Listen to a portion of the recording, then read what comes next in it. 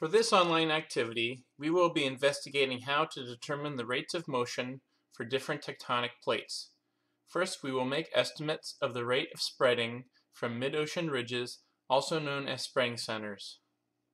In part 2, we will estimate the motion of the Pacific plate based upon our measurements of the distances between Hawaiian Islands in the Hawaiian Island chain and seamounts in the Emperor Seamount chain. Print out a hard copy of the online activity so that you can fill this out and turn it in at our next class when it is due. I do not accept late assignments. We will spend a little, little time discussing this activity. Watch the short review video about plate tectonics. This video comes from Ida Awad and can be found on her YouTube channel listed below. Her video refers to parts of her class, but we can use the video to review some of the science behind plate tectonic theory. Here is a map of the Earth. Major plate boundaries are located as red, green, and magenta lines. Topography and bathymetry are represented by color. Low elevation is green, and high elevation is brown. Deep water is darker blue, than shallow water, which is lighter blue. There's a graticule grid showing the degrees of latitude and longitude with labels in the margins. Note how the equator is marked as 0 degrees, as is the prime meridian, which runs through Greenwich, England. Two plate boundaries we will use to investigate plate motion rates are the Mid-Atlantic Ridge and the East Pacific Rise. Both are mid-ocean ridges, also known as spreading centers. Later in this online activity, we will take a look at the motion of the Pacific Plate based on our observations along the Hawaii Island chain and the Emperor Seamount chain. First, we will review something about the Earth, the latitude and longitude coordinate system, and maps. The map on the top center looks like the map we are using in our online activity. The latitude and longitude graticule grid lines are rectangular. This is because these maps are using a projection to place the three-dimensional Earth onto a two-dimensional map. These two versions at the bottom are also projections of the Earth, but they show how the longitudinal lines, meridians like the prime meridian, actually converge come together at the poles, as does the view of the globe in the upper right-hand corner. This is a projection that even more demonstrates how these longitude, longitude lines, the meridian lines, converge at the poles. This figure shows again how the meridians converge at the poles. This also shows how the latitude lines remain parallel throughout the Earth.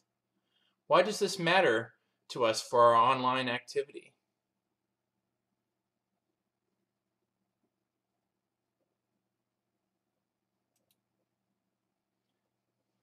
The degrees of latitude are the same distance from each other throughout Earth, while the distance between meridians is at a maximum at the equator and diminishes to zero at the poles.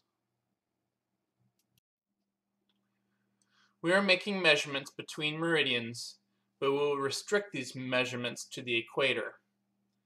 This is the only place on Earth where we can convert degrees of longitude to nautical miles with conversion factor 1 degree equals 60 nautical miles.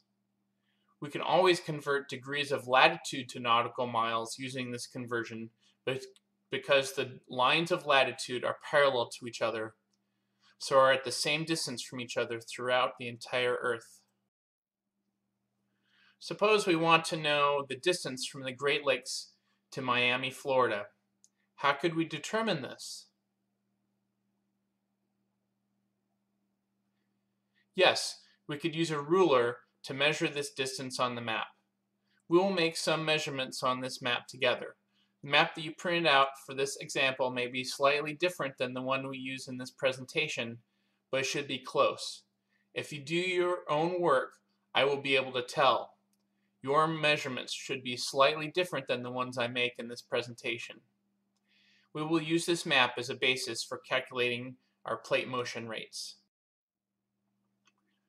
Here, we place a ruler on the map and we'll use the metric units on the ruler. The units here are labeled in centimeters, but let's use millimeters. They're 10 millimeters in a centimeter. How many millimeters are there from the Great Lakes to Miami, Florida?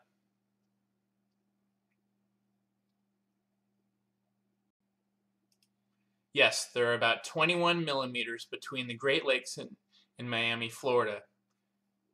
Is this the real distance between these two locations? No, it is really much further between these two locations. As a side note, we'll also we also know that there are a million millimeters in a kilometer and a million years in a million years. So later it will be simple to convert from kilometers per million years to millimeters per year. More on this later. Suffice it to say, let's use millimeters. How many millimeters does our ruler say? How do we determine the real-world distance between these two locations, or any locations on this map? We need to determine the scale of the map and formulate a map distance to real-world distance ratio conversion factor.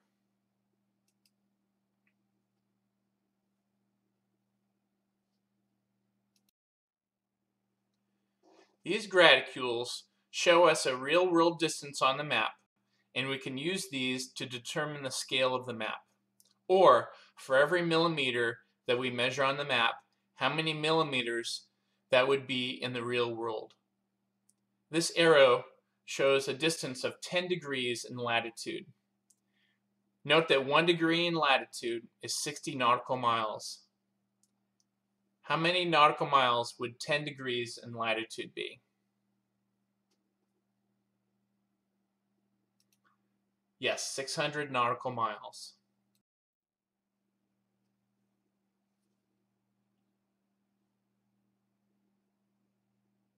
How many millimeters are there between 0 degrees and 10 degrees south? 11 millimeters. Is this the real world distance? No. Let's do the calculation to figure this out how to convert map distance into real world distance. Here are our two measures. The map distance is on the left and the real world distance is on the right. From this, we find that there are two possible conversion factors, 11 millimeters per 10 degrees or 10 degrees per 11 millimeters. If we want to convert units, we want to use a conversion factor that lets us cancel the units. If we want to convert 11 millimeters to some distance with the units in degrees, do we use the ratio on the right or the left?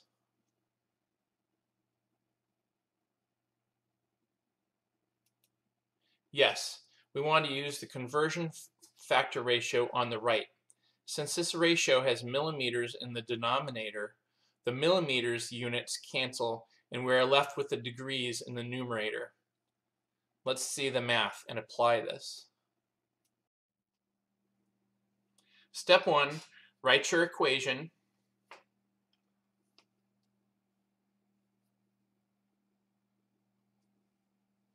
Step 2, cancel the units.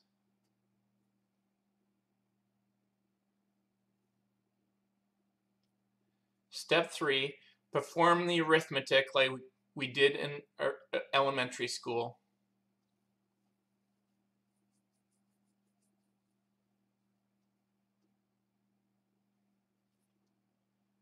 Step 4, check the answer to see if it makes sense. Yes, we have confirmed that 11 millimeters in map distance is equal to 10 degrees in the real world distance. Let's do a real example now that we have a conversion factor ratio for this map. we will use this conversion factor for all the measurements we will make during this online activity using this map. Suppose we are interested in measuring the distance demarcated by the orange arrow on this map. What is the first step?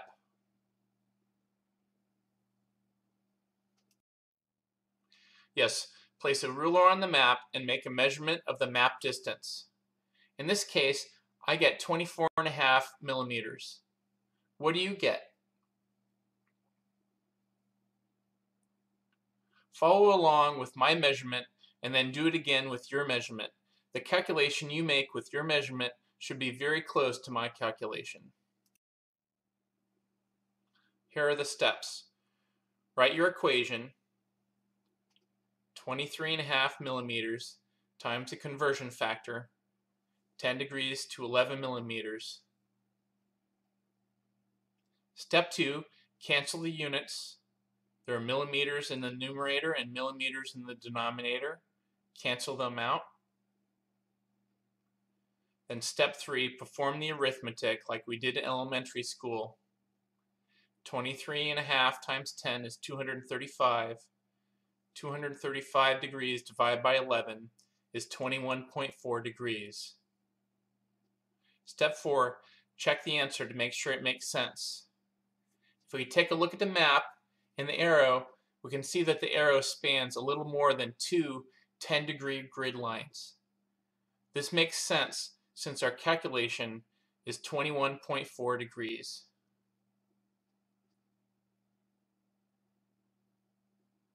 Step 5. Our next step will be to convert this real-world measurement in degrees and convert it to kilometers.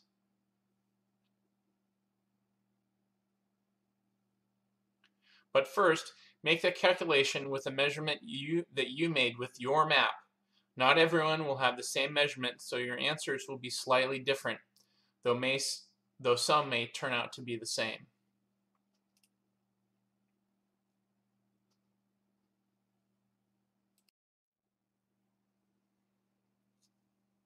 Step 1. Write your equation.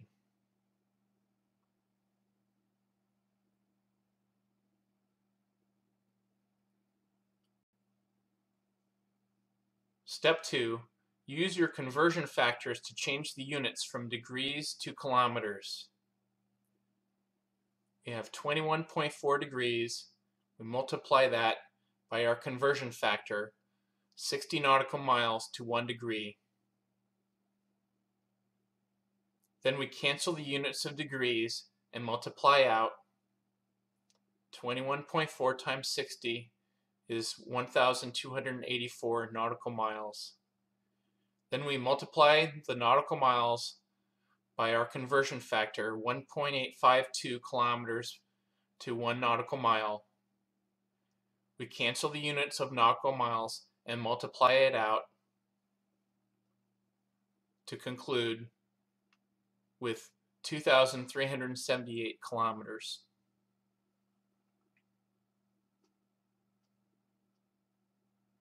The length of that arrow is 2,378 kilometers.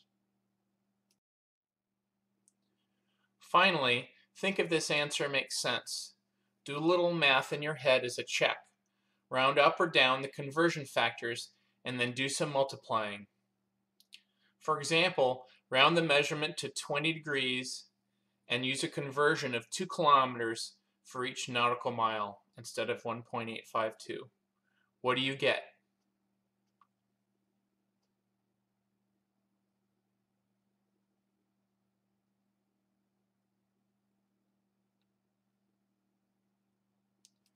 I get 20 times 60 times 2 is 2400 kilometers. This is pretty close to 2378, the answer we got when using the correct conversion factors. It is always good to do a little checking of your math. We almost have enough information to calculate a plate motion rate. Recall that a plate motion rate of velocity is determined is defined by a distance divided by a time. Rate equals distance divided by time. We have a distance, We just need a time. How old is the oceanic crust at the East Pacific Rise? Yes, the oceanic crust is new at the East Pacific Rise, so it is zero millions of years old. Zero MA. How old is the crust at the edge of South America?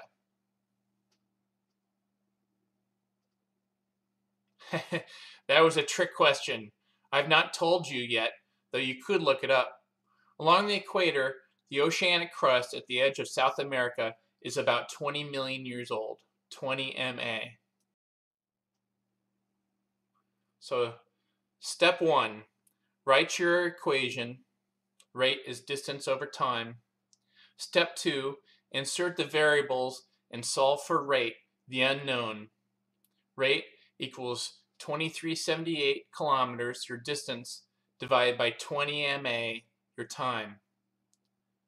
Dividing that out, we find that our rate is 119 kilometers per millions of years, per million years.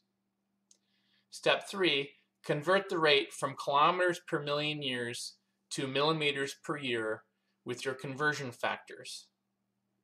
Note that there are a million millimeters per kilometer, and there are a million years in a million years. Step 4. Cancel the units and other numbers.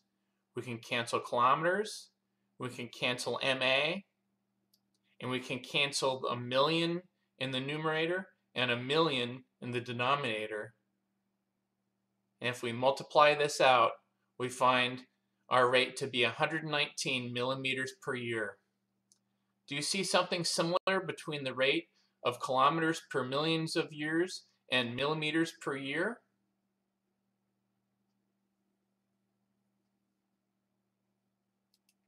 Yes, since the number is the same, since there are 1 million millimeters in a kilometer and 1 million years in a million years, the number does not change. Here is the measurement you need to make for your Mid-Atlantic Ridge spreading rate calculation. Show all of your work.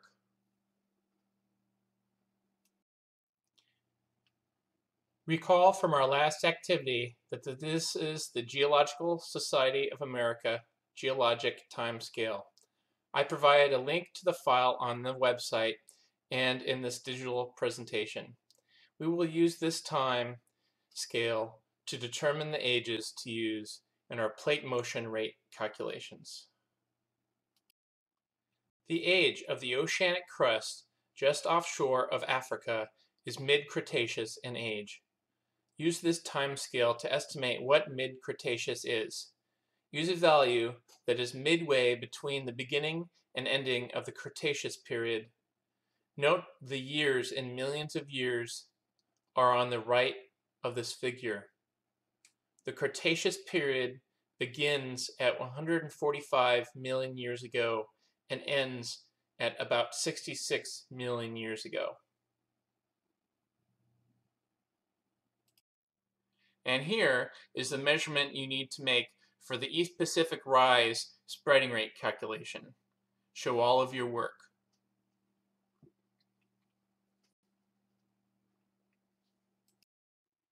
The age of the oceanic crust in the western Pacific is mid-Jurassic in age. Use this time scale to estimate what mid-Jurassic is. Use a value that is midway between the beginning and ending of the Jurassic period. The Jurassic period begins at 201 million years ago and ends at 145 million years ago. For our next exercise, we will calculate the rate of, the motion, of motion of the Pacific Plate based upon the distances and ages between different Hawaiian Islands and Emperor Seamounts. As a review, volcanic hotspot is an area in the mantle from which heat rises as a thermal plume from deep in the earth. High heat and lower pressure at the base of the lithosphere, the tectonic plate, facilitates melting of the rock.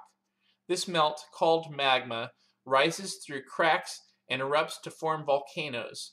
As the tectonic plate moves over the stationary hotspot, the volcanoes are rafted away and new ones form in their place.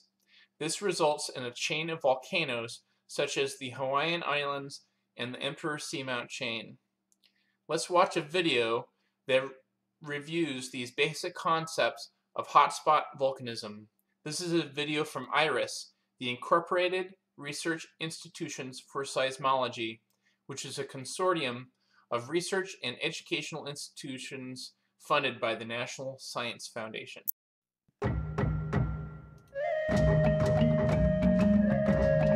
A hotspot is a localized source of high heat energy that sustains volcanism. It is not an isolated shallow magma reservoir beneath the crust, nor is it a pipe of magma that streams from the outer core. One theory holds that hotspots may begin as a blowtorch-like thermal perturbation in a zone between the liquid outer core and an overlying mantle about 2,900 kilometers deep. The thermal plume allows solid, yet mobile mantle to rise very slowly and convect Convection is the process by which heated material rises and cooler material sinks. Although magma may be generated as deep as 1500 kilometers, individual blobs do not traverse the entire mantle. Let's zoom in to look at the onset of hotspot volcanism beneath a moving plate.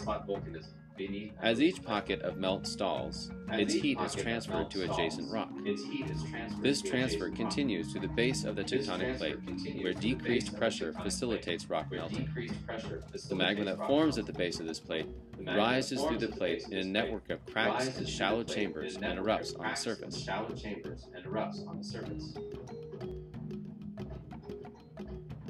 Over hundreds of thousands of years, large volcanoes build on top of the plate. The weight of the volcanoes bends the plate down. Volcanoes that spent their constructive life over the thermal plume slowly get rafted away on the moving plate, and new volcanoes build in their place. Multiple dikes can feed several volcanoes from separate conduits. The moving plate drags the thermal plume with it. This can explain why volcanoes can erupt again after centuries of quiescence, even after they have moved off the center of the hotspot. However, erosion greatly outpaces volcanism as eruptions wane, and the buoyant effect of the plume diminishes, allowing the volcano to subside.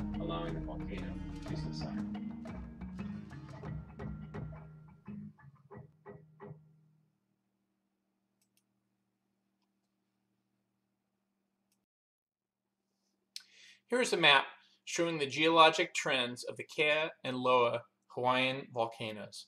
This is from a U.S. Geological Survey professional paper celebrating the 75th anniversary of the Hawaiian Volcano Observatory from, the 19, from 1987. Here is a link to this paper.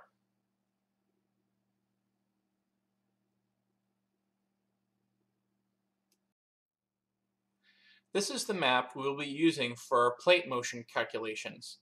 We will be making distance measurements between island and seamounts that have radiometric ages associated with them. Each island or seamount that has a radiometric age is labeled with a tick mark and a number that matches the age of that location in millions of years, or MA. This is the first measurement you will make between the ends of the tick marks labeled less than 2 and 10 MA. This measurement will be your map distance measurement in millimeters. You will need to convert this to a real-world distance. Then you will divide this distance by the time span to calculate the rate of motion for this time span. This is the second measurement you will make. This is the third measurement you will make. Note how I'm measuring the distance between the ends of the tick marks. This slide gives you a hint about where to make a measurement so you can make a map scale correction ratio. This is the same thing you did in the first part of this activity. Note, this is 10 degrees in real world distance. In this example, I measure 18 and a half millimeters. From this, I can say that the map distance of 18.5 millimeters is equal to 10 degrees of latitude and real-world distance. Now all I need to do is formulate the ratio to use for each of my measurements. Your measurement may be different or may be the same uh, as my measurement.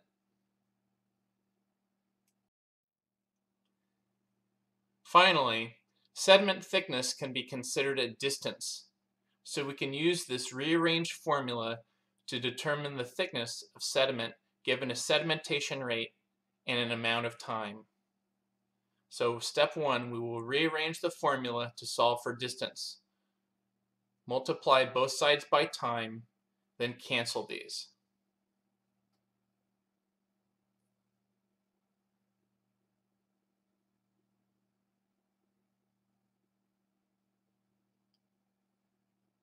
We finally find the distance is equal to times times rate.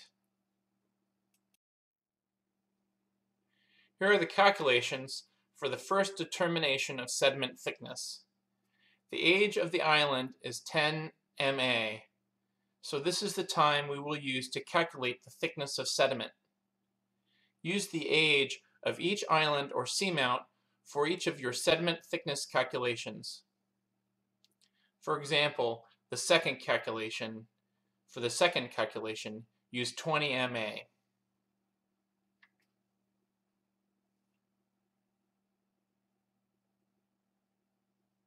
distance is 10 ma, which is the time, times the rate, which is 2 millimeters per thousand years.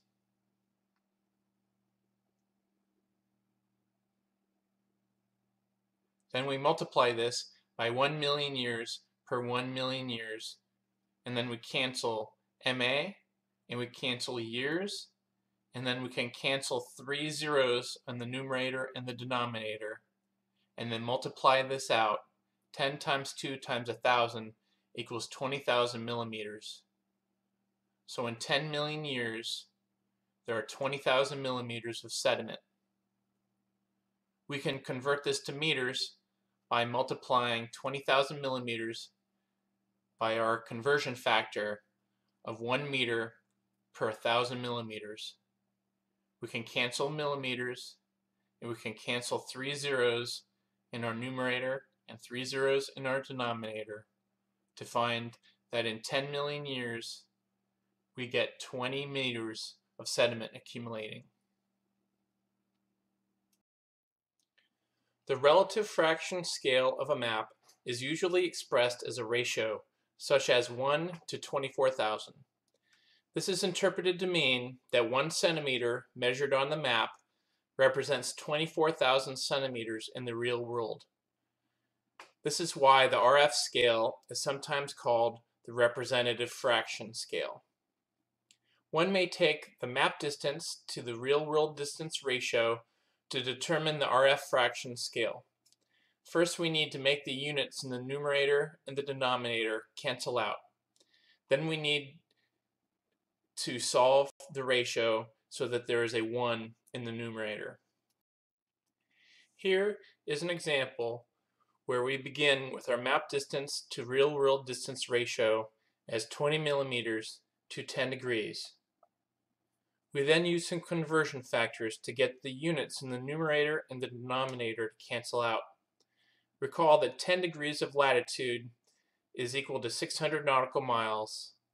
One nautical mile is equal to 1.852 kilometers, and one kilometer is equal to 1 million millimeters. We can then cancel the units millimeters, degrees, nautical miles, and kilometers so that there are no units.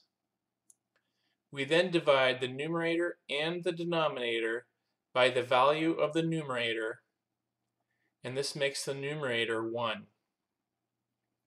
The result is the relative fraction scale of 1 over 55,560,000, which we simply rewrite as a ratio 1 to 55,560,000.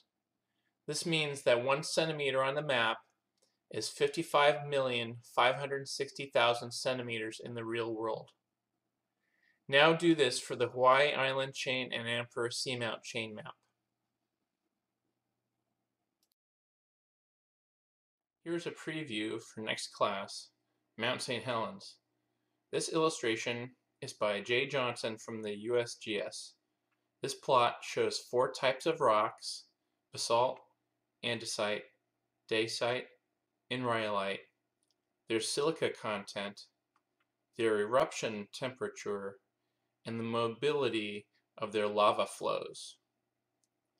The behavior of a lava flow depends primarily on one, its viscosity, or resistance to flow, two, the slope of the ground over which it travels, and three, the rate of lava eruption.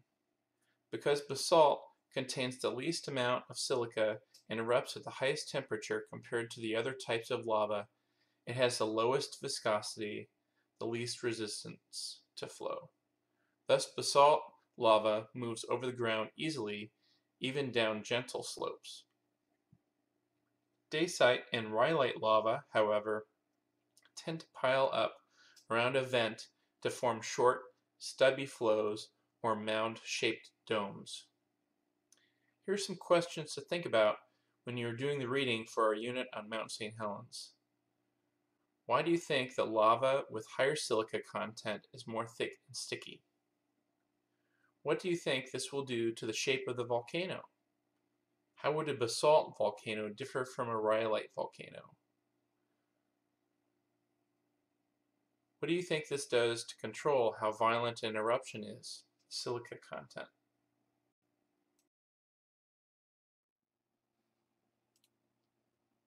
Here is an illustration of different types of volcano. On the left, a type of volcano is a time series view of Mount St. Helens that erupts to create through 2007. Based on the last slide, these what four maps on the left are computer simulations of the ground surface of the volcano created with what about Geographic Information volcano? Systems, GIS. The map on the right shows the location volcano? of Mount St. Helens as a red star. A is a digital perspective view from the USGS Digital Elevation Model, the DEM, of Mount St. Helens as seen from the northwest prior to the catastrophic eruption of May 18, 1980. B is a digital perspective view derived from the USGS DEM of Mount St. Helens following the catastrophic eruption of 1980. The 1980 to 1986 lava dome has become has begun growing in the center of the crater. Lower left C is a light detection and ranging LIDAR derived digital perspective view of the volcano on September 22, 2003, one year before the start of its latest eruption. The 1980-1986 lava dome and cr crater glacier occupy the, the crater. D is a digital perspective view derived from both LiDAR DEM and DEM constructed by photogrammetric techniques showing a new lava dome, the 1980 to 1986 dome, and advancing crater glacier on July 5, 2007.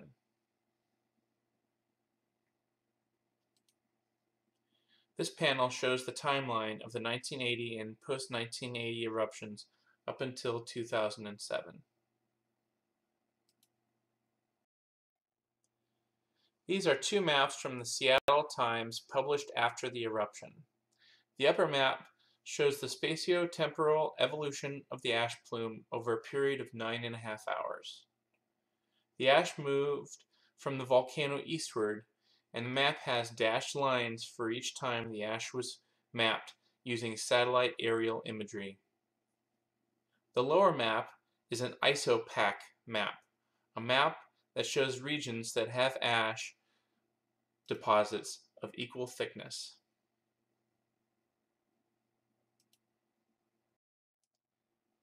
Here is a time series of the 1980 landslide and eruption. The link for this video is provided in the notes.